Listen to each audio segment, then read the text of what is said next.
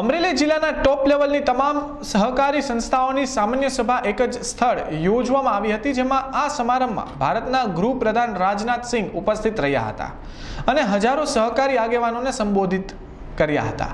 તેમજ અમરેલીની India medical corporation દ્વારા ફાળવાયેલા છ એમ્બ્યુલન્સનું લોકાર્પણ પણ તેમના દ્વારા કરવામાં આવ્યું હતું.